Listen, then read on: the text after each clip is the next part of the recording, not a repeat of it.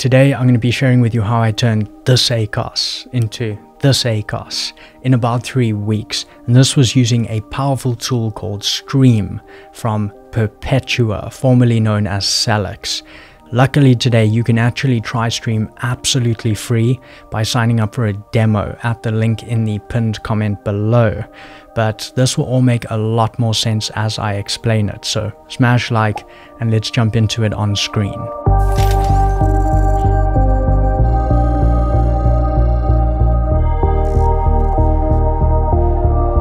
This is Perpetua and you can see all of the different sections in this menu panel, including Stream, but currently we're on sponsored products and you can see your ACOS, cost per click, click-through rate and conversion rate. You can also bring those up on the graph to see the day to day, but this doesn't tell us exactly how to optimize these specific metrics. And that is why we're going to jump into Stream, where we can actually start looking at when campaigns do well or don't do well. And in here, you can view this by the day of the week, the time of day, or both together. You can also filter by specific campaigns or your whole account or goals you've created in Perpetua. And here we're looking at this month, 10 August, 10 September, when this campaign was doing well. So we're trying to see what can we replicate and how can we improve the current performance of the campaign. So looking at ACOS only, we can see in terms of time of day when it's very high, like 1 a.m., or when it's low, like 5 a.m. and 7 a.m. So you can start to find specific points in the day when your campaigns do well, like 7 to 11 p.m. is really good here. Also, cost per click. And you'll notice when ACOS is lower, usually your cost per click will also be a bit lower. Again, the 7 to 10 p.m. area looks good. You can also look at conversion rates. Again, we do see a bump in conversion rate around that nighttime period. And click-through rate. So if we toggle this on, we can again, hour by hour, actually look at specifically click-through rates alone. Here we definitely see a big spike at that 9 p.m. point. And so in this way, all of these metrics kind of are going to come together and show you why your ACOS is low or high at certain points. But focusing on ACOS specifically, this is what we want to optimize for. And you can see we have a very high ACOS in the early morning hours here. Then very low at 5 a.m. and 7 a.m. So we're taking notes of this. 8 a.m. to 12 is really just middle ground. Low at 1 p.m. 2 p.m. to 3 p.m. is kind of again that middle range. And then from 7 p.m., we really start to see it dropping. 8 p.m. is excellent, so is 9, and so on. So the nighttime is the best for our ACOS. In terms of cost per click, it also looks similar here, with the best being nighttime. So in this case, optimizing for ACOS, you're finding the best kind of middle and worst times of day. Then you want to create a document time of day by ACOS. And you can see, for example, here 12 a.m., it's about 40%. The worst is between 1 a.m. and 4 a.m., very high.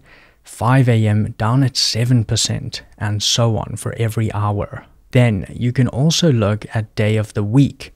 Once you're done with time of day, we have our same metrics here, and we can see Sunday quite high, then Monday gets lower, Tuesday is very good, 18. Wednesday up again, 54. Thursday coming down again. Friday is very good, 17. And then bumping up more to the middle ground Saturday. Now that we have time of day, we can also do day of the week. So you're going to create your own document, best days of the week, Tuesday and Friday, middle Thursday and Saturday, and the worst Sunday and Wednesday. Then you can also look at this day of the week and time of day together and again on our same metrics, but we're going to focus on ACOS and you can see this little shaded bar. If you hover over the lightest color, that's your lowest ACOS areas and ascending from there. So by looking at these different shaded boxes, you can find your varying ACOS levels by day, but also time of day. So these darkest ones are going to be your worst ACOS areas then you can just view all of them at once, but you're identifying good and bad areas and then creating a document for both time of day and day of week, just like this. But now you have the best time of day for ACOS, the best days of the week for ACOS, and the best time of day and day of the week for ACOS. Then you want to click bid multiplier schedules at the top. You're going to click new schedule to create your own, name that, and click save changes. Here you have your own day parting schedule with all the days of the week and the hours of those days. So now that you have your own document of best times of the day and days of the week, you now have your day parting schedule. And this is when we're going to marry them together. And you're basically able to use that data to adjust your bids and in that way ensure you're only running aggressive ads when you know they perform well and you're reducing the bids when you know your campaigns do not perform well. So bring up your document next to your schedule here you can see 100% is filled in in every slot. What this means is Perpetua will run 100% of your bid at this time of this day. So if you're bidding a dollar, Perpetua will bid $1 on that keyword. However, you can change this. So if we change this to 90, that is 90% of our bid. That means although your bid's $1, Perpetua is going to adjust it down to 90 cents. 90% of your bid. And so this is how you're going to be able to actually adjust your bids based on when you know your campaign performs well or not well. And so then we can begin calibrating. 12 a.m., 40% ACOS. We're going to leave that at 100% of the bid. But 1 a.m. to 4 a.m., high ACOS, we're definitely going to adjust here. So 1 a.m., we're going to drop this down to zero. This will actually pause all bids on keywords in the campaign at this time. And then, of course, for 2, 3, and 4 a.m., we will repeat here. So we're going to drop all of these, pause all of these hours here. 5 a.m., 7% ACOS, really good. So we're going to increase the bid to 150. I hope that makes sense that if you keep it at 100, it's literally just going to run the bid that you've put in on Seller Central for all of your keywords in your campaign. But if you lower it, let's say to 50, then it's going to run half your bid amount for all your keywords in your campaign. And of course, if you put it at zero, it's literally pausing your all your keywords in that campaign at that time of that day. Then you can raise it. So you could put it at 150 and it's going to run 1.5, or you could put it at 200 and it's going to run double your bids for all your keywords in your campaign at that time of that day. And then continuing 6 a.m. I'm going to put this one at 1:30 just because this area is good. 7 a.m. really good, so I'm going to put this at 150 and continuing. So 8 a.m. through 11 a.m. is pretty normal. 12 p.m. very bad. I'm going to pause all keywords at this point. 1 p.m. really good, so we're going to raise this to 150. 2 p.m. and 3 p.m. are decent. We'll leave those alone. 4 and 5 p.m. are quite good. So we are going to bump the bids a bit here, 130, and we are going to just continue as per the strategy here. 8 p.m. to 11 p.m. is very good. So here we're going to definitely be raising these bids as well. Now every hour of Sunday is complete. One more thing. Look at the worst time of day and day of the week. Your very worst moment. So on Sunday, that's 9 a.m. is very bad. So we're going to pause that hour. We also at 12 p.m. Not good on Sunday. That's already paused though. And then Sunday at 2 p.m. Also not good. So we are going to pause this one as well. Then we're going to actually replicate this across to Monday. So across all of the hours moving down and all the other days of the week as you see here. But then we're going to specifically look at days of the week.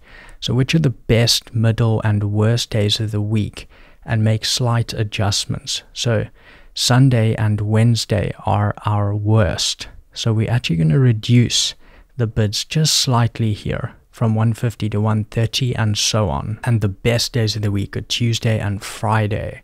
So on these days, we're actually going to raise those bids a little bit. So 130 may go to 140 and so on for each of those days because those are our best performing days.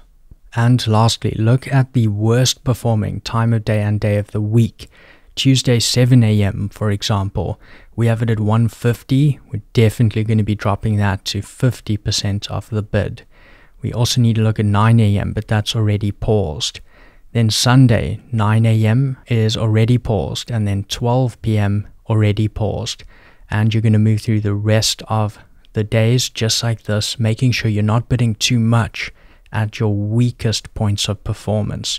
This way, you're just covering your bases, and your day parting schedule is complete for every day. Click Save Changes, and your schedule has been updated. Lastly, at the very top right, you'll be able to apply to goals to apply this to a campaign. Now, before you can apply your day parting schedule to a goal, you need to have a Perpetua goal. And a Perpetua goal is really a campaign. So it is a campaign that will go live on your Seller Central account as well, but you create it within Perpetua. And it's a campaign with a specific goal. Uh, for example, a specific target ACOS. In this case, it was set to 30%. So we're targeting a 30% ACOS. But let me show you on screen. In Perpetua, come up from Stream and click on Sponsored Products. At the bottom in the Goals tab, you want to click on New Goal. This is going to allow you to create your own goal. Select your targeting type and we're going to choose Universal Targeting at the top here. Then give your goal a name. We're also going to leave Universal Targeting on. Then give it a target ACOS and daily budget. Click Advanced. Here you can add keyword and product targets. Click Add Targets. Then, of course, you're going to add your targets as you do with any PPC campaign. So these will be your most important keywords you know customers use. It also has various harvesting types, so it will actually automatically gather and include the best keywords from, for example, an automatic campaign to an exact match campaign. And in campaign management, you can set which campaigns you want to run. By default, it has product targeting, automatic, and keyword targeting. You can also set your bidding strategy as you would within Campaign Manager. So, dynamic bids down only, for example. And so here you can either create a brand new campaign, so you don't even have a campaign for your product, and then Perpetua in the process is going to help you actually optimize that campaign. But you might already have an optimized campaign, but you just want to do day parting. Then what you can do is actually replicate that same campaign as a goal in Perpetua. And that is exactly what I did here. So you're just taking the exact same targets, whether they're keywords or ASINs, and you're putting them into your Perpetua goal and creating that goal. Once you are happy, click Done at the bottom right. This will create your goal. Then back on sponsored products, under goals, you will see your newly created goal. But most importantly, back on stream, with your day parting schedule, you can click apply to goals and you will see your goal. You can then select that goal and at the bottom, click apply successfully applied one goals to the schedule. So now your campaign is going to run per this schedule. So your bids are only going to run at 100% when you've set them to. They're not going to run at all when you've set it to 0% or paused. And they might run double if you set some time periods to 200.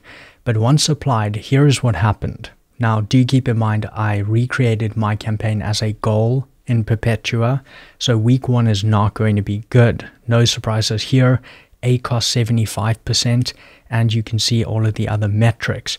But in week two, the ACOS dropped to 40%, and some of the other metrics began looking very good. Conversion rate 5.2%.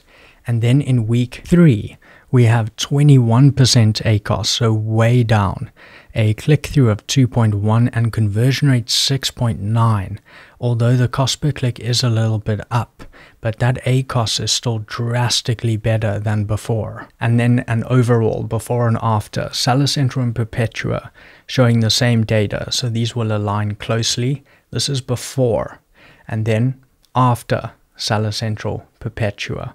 You can see the results are better after and remember that also includes the 75%, 40% initial weeks because I haven't had that much time to run these campaigns. But do remember, you only need a goal to use day parting.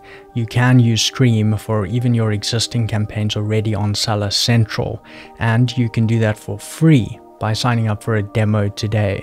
You can do that at the link in the pinned comment below. But I do hope that you enjoyed this video. If you did, smash like for me. Don't forget to sub and I will catch you in the next video.